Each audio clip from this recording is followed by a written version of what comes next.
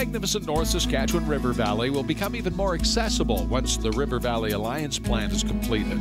The first phase commits $90 million to improving public access, building new trails, docks, and other features. It's already North America's longest metropolitan park system. The River Valley Alliance is an alliance of seven municipalities in the capital region that have land bordering the North Saskatchewan River. We're hoping that this is something that the generations ahead will enjoy as additional recreational opportunities in our river valley. Of that 90 million, the City of Edmonton is actually getting 72.9 million.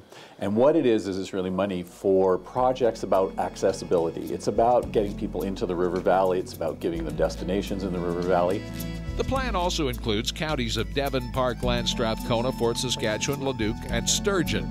In its ultimate form, the overall cost is projected to be $600 million over 10 to 20 years of development. Up until 2012, a huge part of it was also creating the plan.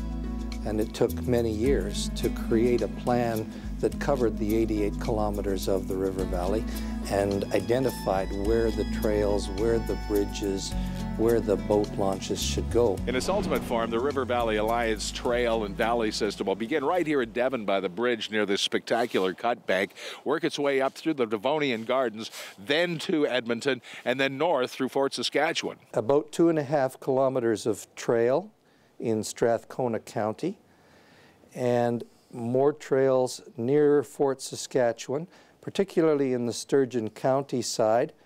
Uh, approximately $6 million of our project is intended to be spent building trails in the Sturgeon County area across from Fort Saskatchewan. We're also adding a new pedestrian bridge, which gives us access from one river terrace to another river terrace.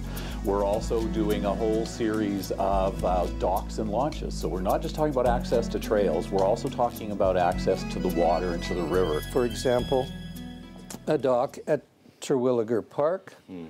And in fact, Terwillegar Park is the location of one of our larger projects, uh, a footbridge connecting Terwillegar Park to the Centennial Lands.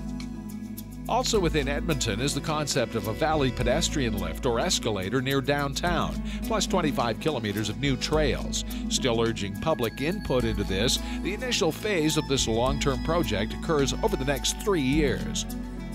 We have a whole consultation process that we want to undertake for all of these projects. So there will be opportunities for the public to have input into all of this. We've got the plan, we've got some of the funds, we're ready now to start building.